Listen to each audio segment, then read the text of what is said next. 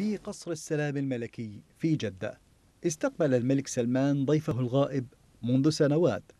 خمس سنوات كانت كافية لإنهاء القطيعة بين الدولتين الكبيرتين في المنطقة.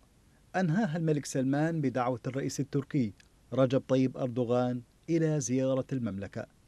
وتتويجا لجهود المستمرة منذ شهور لإصلاح العلاقات بين الطرفين حيث أكد الرئيس التركي قبيل مغادرته الأراضي التركية بأن زيارته إلى السعودية مؤشر لبدء مرحلة تعاون جديدة وتأسيس عهد جديد وتعزيز جميع الروابط السياسية والعسكرية والاقتصادية بين البلدين.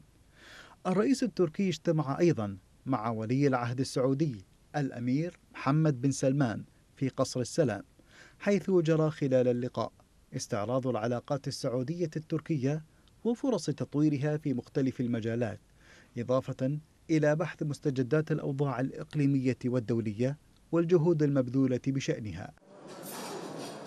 وفي آب الماضي أعلن المتحدث باسم الرئاسة التركية إبراهيم قالن عن تطورات إيجابية في العلاقات مع السعودية مهدت لإجراء هذه الزيارة.